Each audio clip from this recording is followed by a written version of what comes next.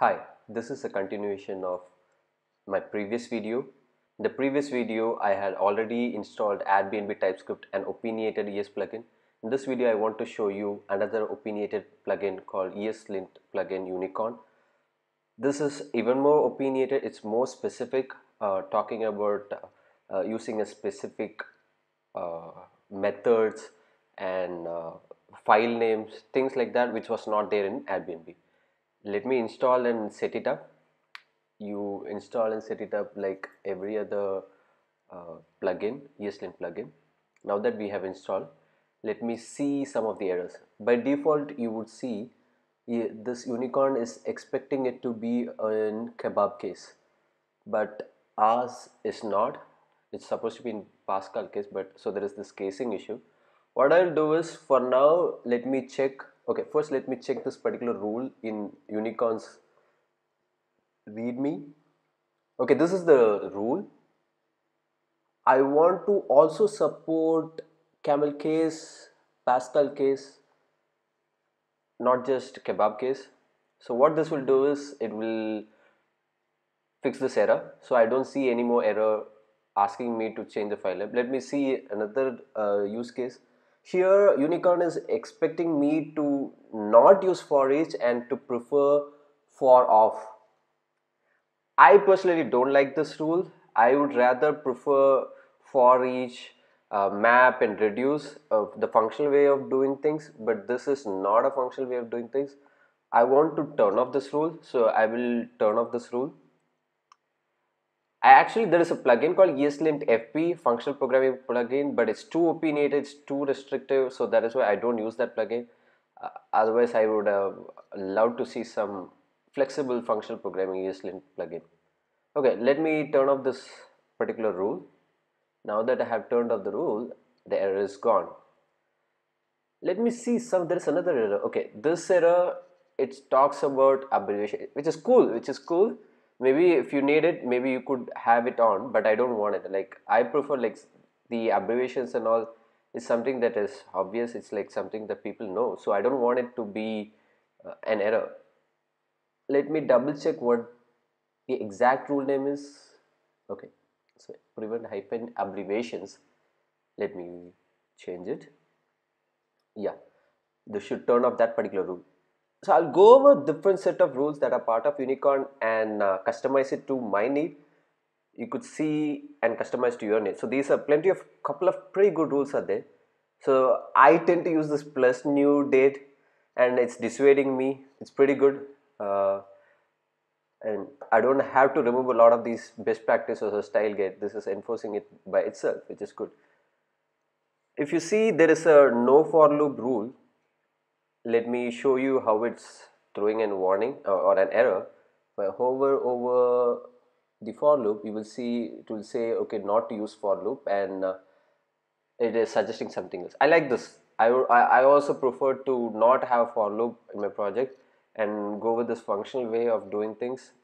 Uh, and this is another cool uh, linting uh, check for regex and this one also which checks uh, which encourages to use set has.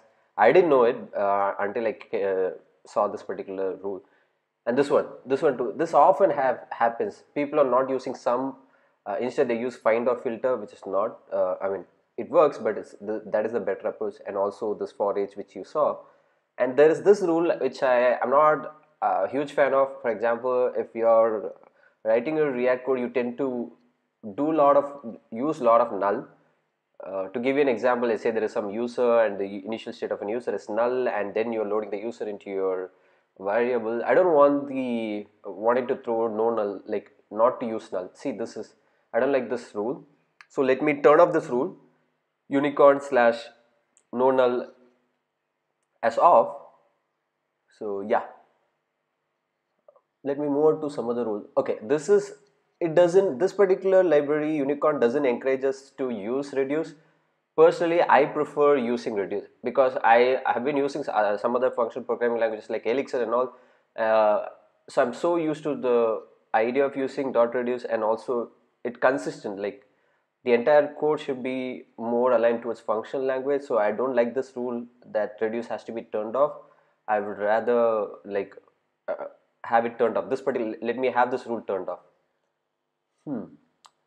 Now okay. Let me again come back to this rule. Okay so what is happening is we generically allowed camel case and pascal case.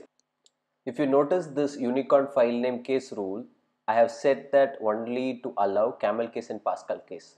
Let me remove it. Yes.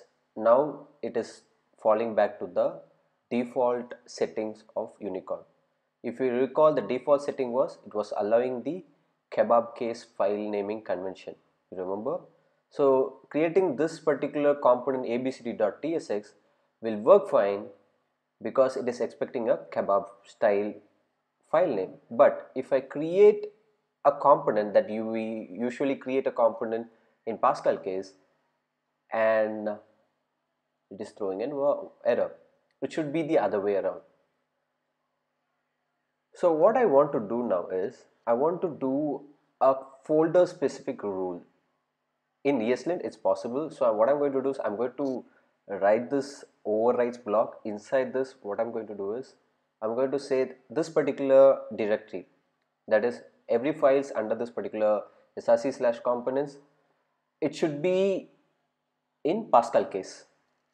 And uh, I could uh, use unicorns rule here one good thing is you could apply any number of rules specific to the directory it's opening to so much options so much of opinionated options that you could uh, fall across your team. So this is one example. So I'm putting this unicorn file name case rule here which will enforce it to be in Pascal case. So it will throw an error if you don't write your component in Pascal. This is working and here is an error cool so no developer in your team or you by mistake will write in a different casing I also have usually have pages directory in my project and this pages directory I want to style it based on Next.js. In Next.js, the components inside pages is kebab shell. It's not in Pascal style. So let me create another rule for this particular folder. If for components folder, we wanted it to be in Pascal case, right? But for this particular folder, let's uh, write it in kebab case. But it's not throwing an error. Weird. Why? Okay.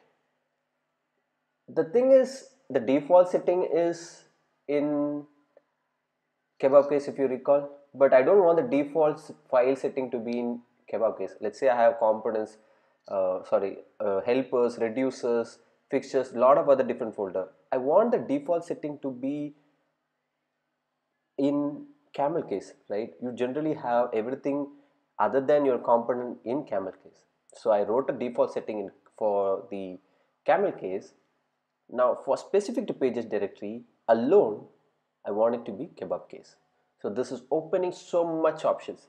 You could for this specific files you could target specific rules. And now this works fine. Let me check.